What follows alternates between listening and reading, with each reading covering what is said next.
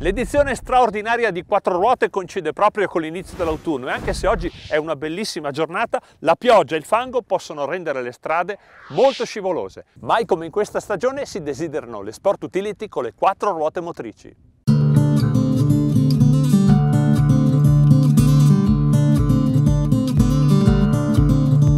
E per non parlare delle solite SUV, oggi facciamo conoscenza con una outsider, ma di quelle con un marchio prestigioso però, la Honda CRV.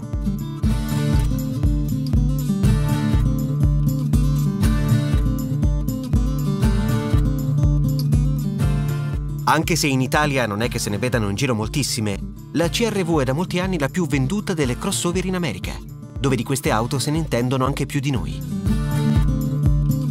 E non perché la CRV sia la più scattante o la migliore in fuoristrada, ma per due qualità orientate a chi tiene famiglia, lo spazio e il comfort. E dunque diamole un'occhiata dentro. Non ci vuole molto per scoprire che questa è la miglior SUV in assoluto per lo sfruttamento dello spazio. Ce lo dicono molti dettagli. Il divano bello piatto che può far sedere tre persone comodamente, ma anche il pavimento ben livellato. Non c'è traccia del tunnel centrale lo spazio in altezza? Beh, la forma della carrozzeria è un bel aiuto perché lascia tanta aria sopra la testa. E quante volte avete litigato con il sistema di ribaltamento dei sedili posteriori? La Honda ha una levetta magica. Guardate,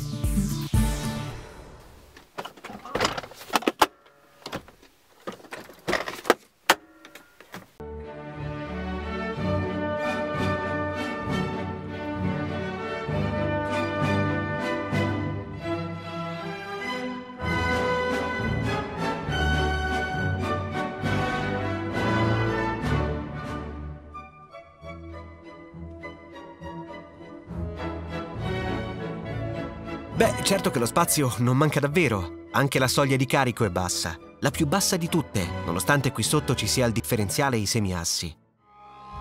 Sì, perché la Honda CRV è una 4x4 in piena regola, anche se il suo schema di trazione integrale non è fatto per i percorsi avventurosi.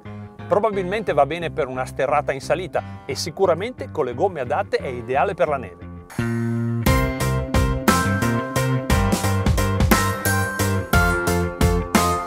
Sensazione di guida, aiutata da una posizione alta, è di buon controllo del mezzo, persino di maggior compattezza rispetto alle dimensioni complessive. I sistemi elettronici in questo caso sono solo due, il classico ESP, che interviene solo al momento necessario e riduce i rischi di sbandata, e la frizione automatica, che si chiude appena le ruote anteriori perdono grip per trasferire la forza motrice su quelle posteriori. Se questo succede, vuol dire che ci troviamo sulla neve o sullo sterrato e che l'aderenza è bassa. Ci vuole prudenza e dolcezza nella guida, ma per fortuna, con le quattro ruote motrici inserite, tutto diventa facile. Non chiedetele però di essere una fuoristrada vera perché questo è uno dei suoi limiti. Il sistema di trazione è dei più semplici e l'altezza da terra semplicemente non è all'altezza. L'unico difetto è proprio questo, ma guidando ci si accorge anche che la visibilità davanti e dietro non è proprio al 100%. Da questo specchietto, per esempio, vedo più l'interno della macchina che attraverso l'unoto e poi il montante anteriore e sinistro qui è un po' troppo massiccio, certe volte nasconde la visuale proprio nelle curve a sinistra.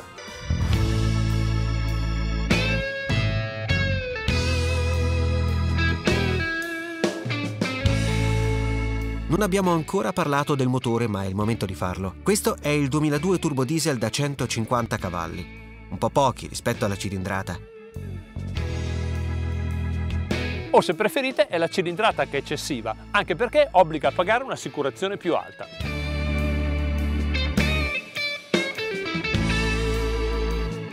È molto regolare e progressivo, sfrutta bene le marce dell'automatico, che sono solo 5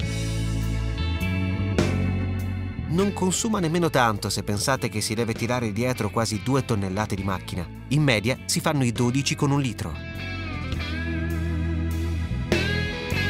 Ci sono SUV più di moda, altre che sono più veloci e altre ancora che sono più avventurose. Ma grande e spaziosa come la CRV c'è solo lei. Ti fa sentire americano al 100%.